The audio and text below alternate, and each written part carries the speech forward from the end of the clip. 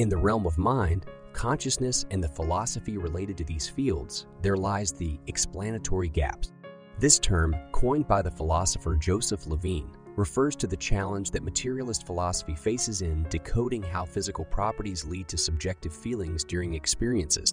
Levine aptly puts it in his 1983 paper by stating, Pain is the firing of C fibers, implying that while it makes scientific sense, it doesn't genuinely help us understand the experience of pain. This riddle like explanatory gap has sparked significant debates amongst philosophers and artificial intelligence researchers, struggling to bridge this gap or find a mechanical explanation for experiences and qualia, a challenge often known as the hard problem. An interesting contrast can be found in the world of modern computers. Here, the behavior can be satisfactorily explained through its physical aspects, such as circuitry and software, effectively no gap. However, many who believe in the antagonistic concept of mind and body, mind-body dualists like Rene Descartes and David Chalmers, opine that conscious experience forms a different impact which calls for a cause outside the physical world, dualism, or an as yet undiscovered physical occurrence. Dualists propose that the mind and brain are essentially and qualitatively distinct, and the existence of a metaphysical element beyond the physical element beyond the physical is needed to fill the gap. They would argue that there are additional facts about conscious experiences which do not logically derive from the physical realities of the world, such as the feeling of seeing red. The explanatory gap is a matter of contention, with some arguing it just marks the boundaries of our present understanding of neuroscience and philosophy, which could be altered by future discoveries. Others, however, see it as a definite boundary of our cognitive limitations that cannot be crossed by further information. Regardless of all the debates, there is no unambiguous stance about the metaphysical implications of the gap's existence. Dualists who base their arguments on the gap's existence often posit that if our knowledge falls short, it hints towards a metaphysical chasm. Yet, there are those like Levine who tend to withhold judgment on this issue or propose that we should abstain from making such hasty metaphysical conclusions. They argue that even if we deduce that qualia are physical, they still pose an explanatory problem in the end. Even though the materialist response seems correct, it does not fully resolve the mind-body issue.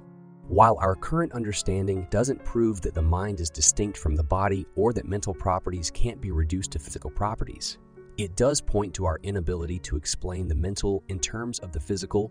Any such epistemological or explanatory gap may denote a deeper metaphysical problem. The non-physical nature of qualia, even if not proven, is far from being ruled out.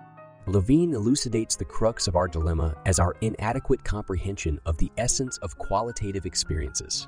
He underscores our lack of knowledge on if interrogating the nature of these experiences is even apt. Analogous to the unaccountability of the gravitational constant within the laws of gravity, he posits that qualia might either be a concept bereft of essential information or a natural phenomenon beyond human grasp consequently. Levine proposes assessing the need for a fully formed explanation for qualitative experiences. Underscoring the magnitude of understanding qualitative experiences, Levine hints at our lack of means to express the concept of knowabilities.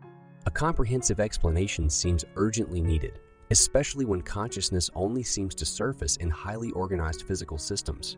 Echoing mental abilities, this might indicate that cognitive ability results from organized operation. However, Levine disputes it as counterintuitive to chalk off the human brain's superior organization as a mere routine operation. Although materialism implies that everything reducible to physical fundamentals depends on AI mechanism, this reductionist approach doesn't link psychology to physical sciences instead. It leaves room for inexplicable facts that are deemed unrelated to psychological statements. Several philosophers express skepticism over resolving this explanatory gap despite critics leveraging it to challenge materialism, physicalism, and naturalism. The problem persists, resisting any scientific or philosophical resolution. Indeed, even if science does bridge the gap to an extent, David Chalmers posits that this problem will persist.